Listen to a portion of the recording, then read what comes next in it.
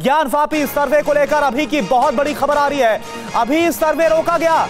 मुस्लिम पक्ष के ना पहुँचने के कारण रुका हुआ है सर्वे। हालाँकि जो हिंदू पक्ष है, वादी पक्ष है, उसकी महिलाएँ भी अंदर जाती हुई नज़र आई थी। लेकिन क्योंकि अभी तक मुस्लिम पक्ष नहीं पहुँचा है, इस वजह से सर्वे का काम रोका गया है दोनों पक्ष की मौजूदगी में। यह सर्वे का काम होगा जैसा इससे पहले भी देखा गया। प्रीति श्रीवास्तव इस वक्त हमारे साथ जुड़ी हुई है। प्रीति मुस्लिम पक्ष नहीं पहुँचा है। क्या वजह सामने आ रही है? क्या इंफॉर्मेशन मंजू जी जी जी। कोई नहीं आया। क्या कहेंगे आप? अब क्या कहेंगे? सर्वे होना चाहिए चाहे वो हमारे पक्ष हो चाहे किसी नहीं, नहीं। हमें जानना है क्या कहेंगे? सुनवाई भी है क्या कहेंगे आप? महिला है, मंजू व्यास, वो यहाँ पर पहुँची है और मंजू व्यास बिल्कुल, मैं आप देखिए, मैं आपको बताऊँ कि जो वादनी थी, वो अभी अंदर गई है और इस समय की जो सबसे बड़ी खबर वो है कि जो मुस्लिम पक्ष है, वो इसमें नहीं पहुँचा है सर्वे में। इस वजह से कुछ समय के लिए जो सर्वे है अभी रुका हुआ है।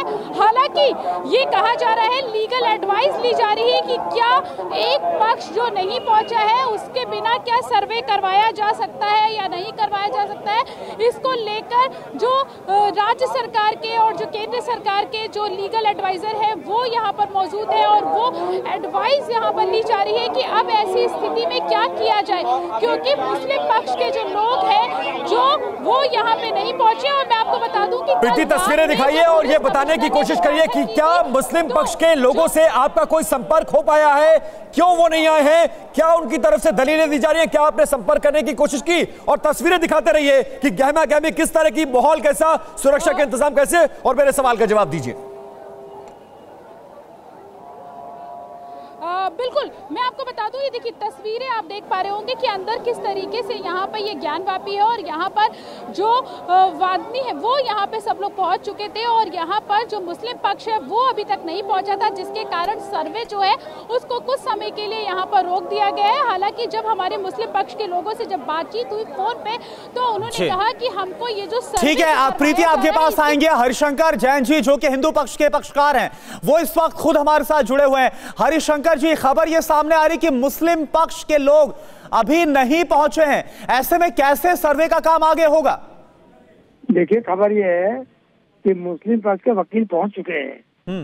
और अगर उनके पैरोकार नहीं पहुँचते हैं प्रतिवादी नहीं पहुँचते तो उससे कोई फ़र्क नहीं पड़ता है। और कोई ना पहुँचे। सर्वे काम सबके सामने हो रहा है। वीडियोग्राफी फोटोग्राफी हो रही है। तो मैं समझता हूँ तो कोई कोई बाइकाट करे जाए ना जाए तो न्यायिक प्रक्रिया किसी बाइकाट थोड़ी रुकती है।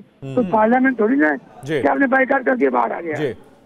तो प्रक्रिया रुक जाएगी। सर लीगल एडवाइस ली जा रही है। हरिशंकर जी लीगल एडवाइस ली जा रही है कि क्या उनके एब्सेंस में सर्वे का काम चलेगा? क्योंकि फ़िलहाल फौरी तौर पर सर्वे के काम को रोका गया है और लीगल एडवाइस ली जा रही है कि आगे क्या किया जा सकता है। क्या इसमें कॉन्सिक्वेंसेज हैं और आप लीगली क्या देखते हैं? क्या हो सकता है?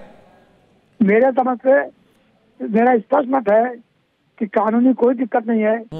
किसी पार्टी के बाइकाट करने से न्याय प्रक्रिया नहीं रुकती है। ये कोई एडमिनिस्ट्रेटिव ऑर्डर नहीं है कोर्ट का आदेश है। और कोर्ट का आदेश कोई पक्ष माने ना माने किसी की इच्छा भी इच्छा से कोर्ट नहीं चलती है। और जो न्यायिक आदेश होता है उसका पालन करना हरिशंकर जी एक क्लियरिटी क्योंकि मामला बहुत ज़्यादा लीगल एक बहुत एक संक्षेप में क्लियरिटी क्योंकि जो आदेश दिया गया शुक्रवार को कोर्ट की तरफ़ से ऐसे में क्या दोनों पक्ष का वहाँ पर रहना बहुत ज़रूरी है उसी में ही सर्वे होगा या फिर अगर कोई एक पक्ष नहीं पहुँचता है तो फिर सर्वे का काम आगे बढ़ाया जा सकता है उसका कोई आगे इंप्लीकेशन या फिर गलत परिणाम नहीं होंगे? देखिए ऐसा है कि कोई किसी पद को रहने के लिए हाँ। शासन प्रशासन कंपेल नहीं कर सकता। अच्छा इस पक्षकार की इच्छा होती है कि रहे या न रहे। और कोई नहीं रहता है मैं रिपीट कर रहा हूँ दोबारा हम्म। कोई नहीं रहता है तो कोर्ट का आदेश का पालन रुकता नहीं है। इसमें रुकना चाहिए। जी। ये किसी की मनमानी नहीं है कि हम बाइकाट कर देंगे।